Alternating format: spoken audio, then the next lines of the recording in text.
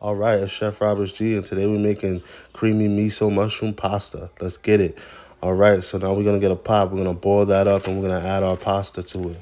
Gonna let that cook for a little bit. While we're doing that, we're gonna get some mushrooms. We're gonna chop that up real nice, and then we're gonna saute it down. Saute it down until it gets nice those crispy edges and really looking good and delicious. Then we're gonna add our pasta, saute that up, add a little bit of soy sauce, and stir that in real nice.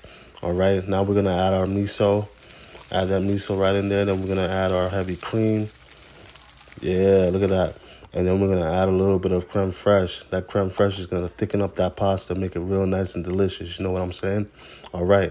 Then we're gonna add a little bit of green onions. Toss that in. We're gonna plate that up. Right? Oh, they're looking real nice. Add a little bit of creme fraiche, some crunchy garlic pieces, a little bit of green onion, a little bit of chili oil, and then you go creamy miso mushroom pasta.